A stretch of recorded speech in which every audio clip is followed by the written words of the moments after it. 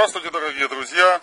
Вас приветствует канал Доктор Желчь, ее постоянный автор и ведущий, профессор, доктор медицинских наук Виктор Владимирович Картавенко. И мы продолжаем разговор об очищении кишечника.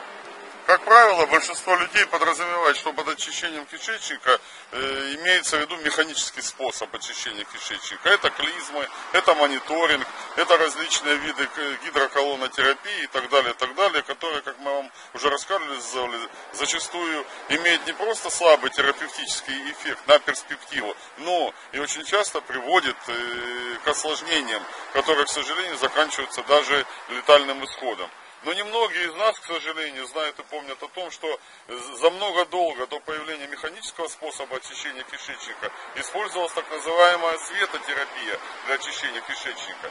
И, кстати сказать, одним из, э, или одной из законодательниц вот в этом плане является знаменитая египетская царица э, Клеопатра. Так вот, оказывается, как говорят историки, для этого есть масса фактического подтверждения, фактических документов, э, в древних египетских фивах находилась комната светолечения для царицы Клеопатры.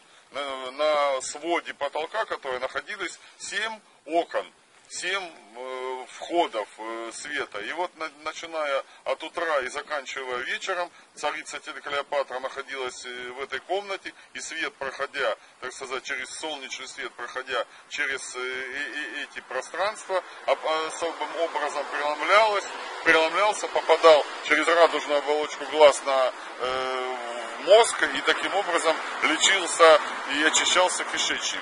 Но не у каждого из нас есть возможность побывать не только в Фивах, но и иметь такую комнату. И для того, чтобы правильно и полноценно и безопасно лечить себя светом, вам надо приехать в санаторий Белая Русь и получить там безопасный, достоверный и очень показательный в терапевтическом плане метод светолечения. Приезжайте в санаторий Белая Русь для безопасного очищения кишечника.